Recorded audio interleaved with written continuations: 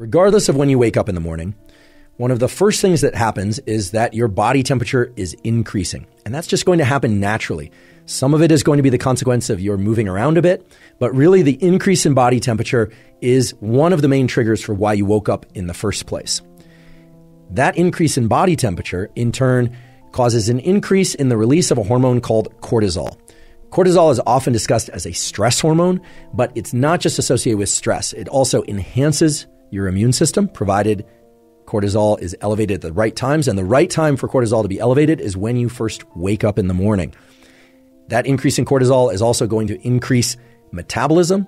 It's also going to increase your ability to focus mentally and for you to move your body. So, again, cortisol is often con- demonized and considered this bad thing. And indeed, you don't want cortisol to be chronically or consistently elevated throughout the day or night.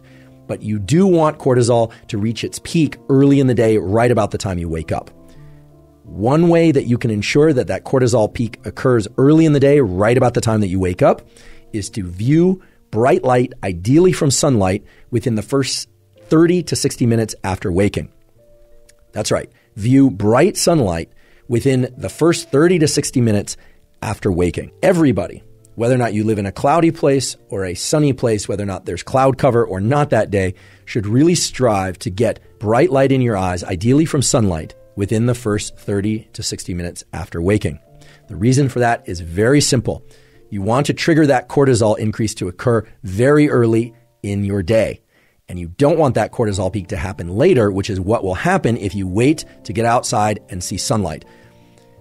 The reason for this is that you have a set of neurons, nerve cells in your eye. Those neurons respond best to bright light, and especially right after waking early in the day, they are best able to signal to a set of neurons that reside over the roof of your mouth called the suprachiasmatic nucleus, which is a cluster of neurons that then sends a huge number of other signals, electrical and chemical, out to your entire body that triggers that cortisol increase, provides a wake up signal for your brain and body, and sets in motion a timer for you to fall asleep later that night.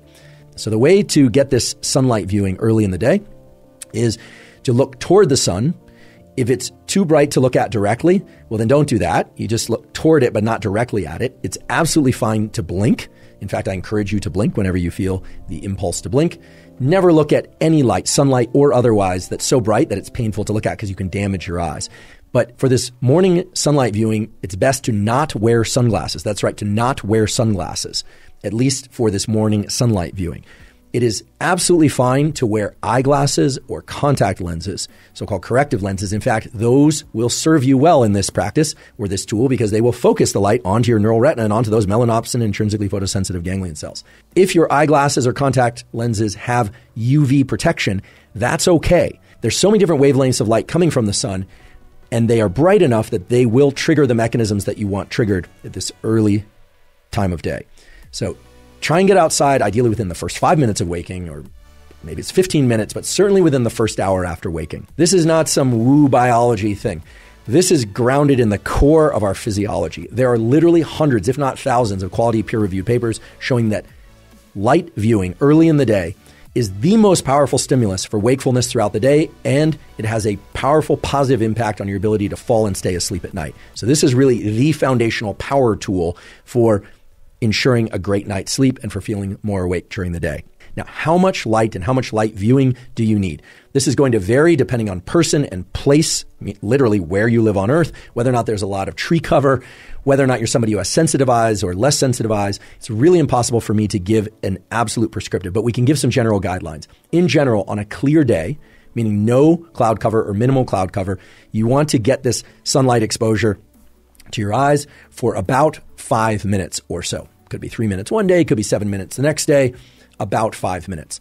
On a day where there's cloud cover, so the sun is just peeking through the clouds or it's more dense cloud cover, you want to get about 10 minutes of sunlight exposure to your eyes early in the day. And on days that are really densely overcast or maybe even a rainy, you're going to want to get as much as 20 or 30 minutes of sunlight exposure. Another key thing is do not forget about. Just don't try and get this sunlight exposure through a windshield of a car or a window, whether or not it's tinted or otherwise. It takes far too long. It's simply not going to trigger the relevant mechanisms. you would be standing there all day trying to get enough light into your eyes from the morning sunlight. And by then, the sun will have already moved from low solar angle to overhead, and it simply won't work for all sorts of mechanisms related to your circadian rhythm functions. Fundamentally speaking, get that morning sunlight viewing. I promise you will be grateful that you did. It makes everybody feel better, feel more alert, and it will greatly assist with your ability to fall and stay asleep later that night.